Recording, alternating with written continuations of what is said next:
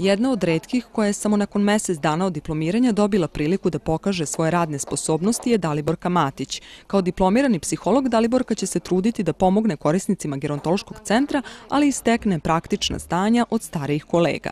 Očekujem sad da ću naravno puno naučiti, da ćemo moći da radimo nesmeta ako ima naravno posla, znači zbog toga sam tamo.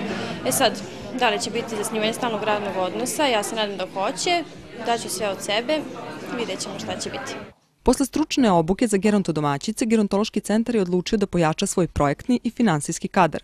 Priliku za rad ovaj put su dobili mladi do 30 godina starosti bez radnog iskustva u struci. Prema rečima direktora Gerontološkog centra doktora Nenada Ivaniševića, oni koji se budu pokazali kao vredni i odgovorni dobiće priliku da nastave rad.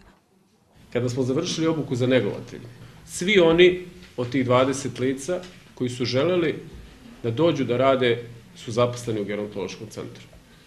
Danas razgovaramo sa jednom drugom strukturom lica, ali isto tako i danas ja u ime ustanove pružam šansu da ukoliko se oni dokažu, ja mogu da im obećam da ovo neće biti jedino angažovanje, nego da ćemo prosto nastaviti i u budućnosti da radimo zajedno. Mladi će biti u statusu volontera, a tokom 12 meseci biće im splaćivano od 10 do 14 hiljada dinara u zavisnosti od stepena stručne spreme. Ali smo ispod tako i obezbedili i osiguranje za slučaj povrede na radu, ali i finansijska sredstva koja predviđaju i polaganje stručnog ispita na kraju ove obuke.